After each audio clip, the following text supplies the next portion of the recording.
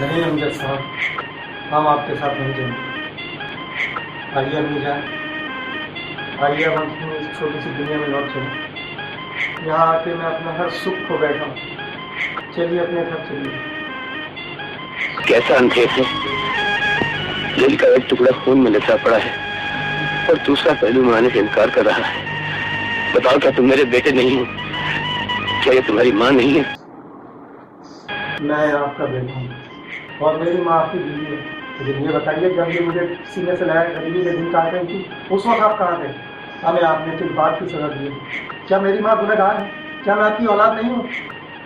हमें आपने जुर्म समझ के दिखाया और गुनाह समझ कर जमाने की ठोकरों में डाल दिया। और आज, जब अपने मेरी माँ के बाल सफ़ेद कर दिए तो आप अपना हक जताने आ गए।